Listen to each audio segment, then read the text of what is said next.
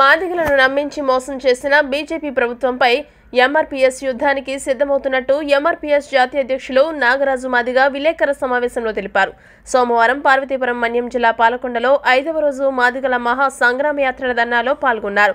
ఆయన మాట్లాడుతూ గతంలో బీజేపీ ప్రభుత్వం అధికారంలోకి వచ్చిన వంద రోజుల్లో ఎస్సీలను కేంద్రంలో వర్గీకరించి చట్టబద్ధత కల్పిస్తామని ఇచ్చిన హామీని అమలు చేయక మాదిగలను మోసం చేయడం వల్లే నేడు కేంద్రంతో యుద్ధానికి సిద్ధపడుతున్నట్లు అలాగే ఈ సంగ్రామంలో ఎటువంటి జరగరాని సంఘటనలు జరిగినా పూర్తిగా కేంద్ర ప్రభుత్వమే బాధ్యత వహించవలసి ఉంటుందని కేంద్ర ప్రభుత్వాన్ని హెచ్చరించారు.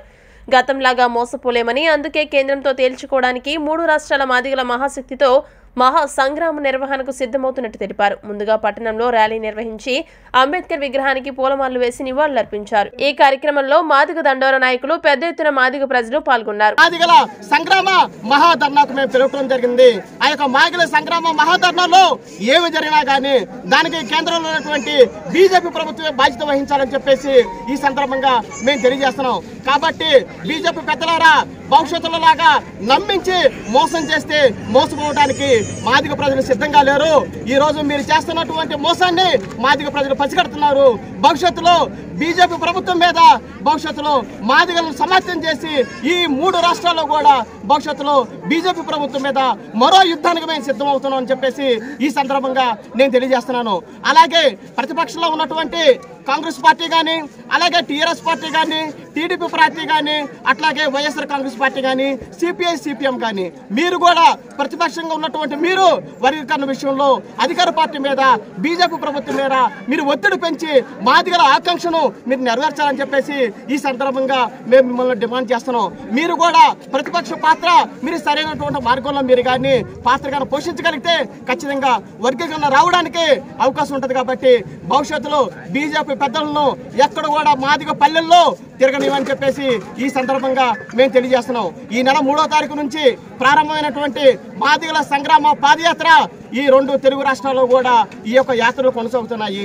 దానిలో భాగంగానే మూడో తారీఖు గౌరవ శ్రీ మందకృష్ణ మాది గారు ప్రారంభించినటువంటి మాదిగల సంగ్రామ పాదయాత్ర ఐదో రోజు పాల్గొండ నియోజకవర్గంలోని కసబ వీధులకి ఈ రోజు చేరుకోవడం జరిగింది.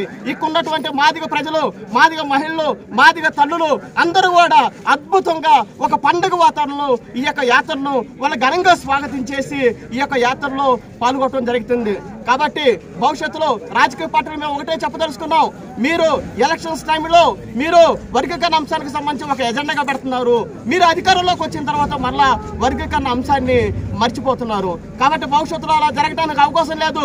రెండు వేల ఇరవై నాలుగులో జరిగేటటువంటి ఎలక్షన్స్లో ఖచ్చితంగా ఈ రాష్ట్రంలో ఉన్నటువంటి యాభై లక్షల మంది మాదిగ ప్రజలు అలాగే ఉపకులకు సంబంధించిన ప్రజలు రాజకీయ పార్టీలకు బుద్ధి చెప్తారని చెప్పేసి ఈ సందర్భంగా మేము తెలియజేస్తున్నాం. వర్గీకరణ ఉంటేనే మాదిగల జీవితాల్లో వెలుగు వర్గీకరణ కానీ లేకపోతే మాదిగల జీవితాలు మరింత అంధకారంలోకి వెళ్తుందని చెప్పేసి ఈ సందర్భంగా నేను తెలియజేస్తున్నాను. మీరు ఒకటే గమనించండి.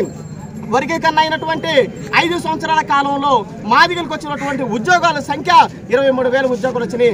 డెబ్బై ఐదు ఏళ్ళ ఈ స్వాతంత్ర భారతదేశంలో మాదిగలకు ఎప్పుడన్నా కానీ ఈ దేశంలో మేలు జరిగిందంటే అది కేవలం వర్గీకరణ జరిగినటువంటి ఐదు సంవత్సరాల కాలంలో అని చెప్పేసి ఈ సందర్భంగా నేను తెలియజేస్తున్నాను.